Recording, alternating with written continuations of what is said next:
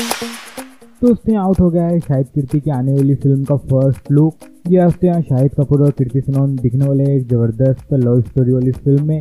और यहाँ इस फ़िल्म से आउट हो गया है दोनों ही स्टारों का एक ज़बरदस्त फ़र्स्ट लुक जिसे देखने के बाद यहाँ पर आपको अंदाज़ा लग जाता है कि लव स्टोरी कितनी ज़्यादा शानदार रहेगी। लेकिन उसके यहाँ आपको बता दें कि यहाँ शाहिद कीर्ति की आने वाली ये फ़िल्म 2023 अक्टूबर में आ रही है, लेकिन फ़िलहाल इस फ़िल्म का नाम अनाउंस नहीं किया गया है। और यहाँ इस फ़िल्म को फ़िलहाल तो अनटाइटल कहा जा रहा है। तो जैसे कि उसके यहाँ पर लिखा गया एन इम्पॉसिबल लव स्टोरी यानी कि उसकी लव स्टोरी जो कि पूरी तरीके से इम्पॉसिबल रहेगी, लेकिन उसके बावजूद यहाँ पर इस फ़िल्म में शायद कीर्ति जी की हमें साथ में दिखेंगे। लेकिन जैसे कि उसके यहाँ पर फ़िल्म के फ़र्स्ट लुक को भी देखा जाए तो जैसे कि उसके ये लुक जो कि कुछ ज़्यादा ही अट्रैक्टिव दिख रहा है, और जैसे कि उसके यहाँ बाइक पर बैठे हुए, शायद और कीर्ति के लुक तो काफ़ी ज़्यादा अमेजिंग लग रहे हैं। हालाँकि इससे जाने को मिल रहा था कि एक रोबोटिक फ़िल्म रहने वाली है और इस फ़िल्म में कीर्ति जी की रहने वाली है रोबोट। और शायद यहाँ इसी कारण से यहाँ पर लिखा गया इम्पॉसिबल लव स्टोरी कि जिसकी फ़िलहाल तो इस फ़िल्म के बारे में आगे आगे हमें और भी ज़्यादा जानने को मिलेगा।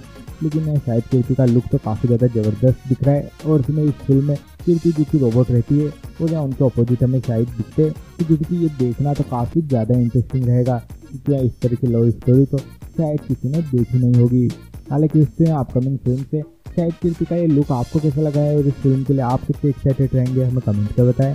साथ ही और बॉलीवुड से जुड़ी लेटेस्ट अपडेट्स के लिए चैनल को सब्सक्राइब करें लाइक करें कमेंट ज़रूर करें।